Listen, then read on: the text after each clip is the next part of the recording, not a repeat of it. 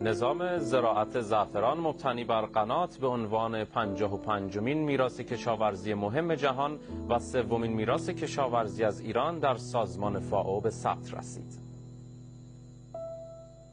نظام زراعت زعفران مبتنی بر قنات به عنوان 55 مین میراث کشاورزی مهم جهان و سومین میراث کشاورزی جهانی از ایران در سازمان فائو به ثبت رسید. با توجه به اینکه 90 درصد زعفران دنیا در جمهوری اسلامی ایران داره تولید میشه مسلما داشتن یک برند جهانی از اهمیت بسیار بسیار زیادی برخوردار است. این ثبت با پایلوت روستای سنو شهرستان گناباد صورت گرفت.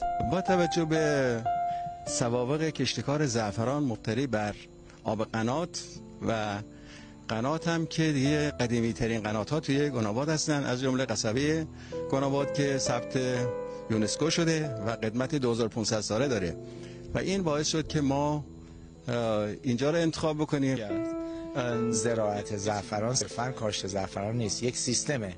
جوامع محلی آین ها رسوم و غیره توریسم و گردشگری و همینطور حفظ محیط زیست. منافع حاصل از این ثبت باید برگرده به کشاورزان. پیش از این نظام کشاورزی مبتنی بر قنات در کاشان در سال 1393 و نظام تولید انگور ملایر در سال 1397 به عنوان دو میراث دیگر کشاورزی جهانی از کشورمان به ثبت رسیده است. علاوه بر رونق گردشگری محصولات تولیدی این سیستم با برند جهانی جیاس قابلیت عرضه در بازارهای جهانی و صادراتی پیدا می کند که از افزایش 50 تا 60 درصدی برخوردار خواهد شد.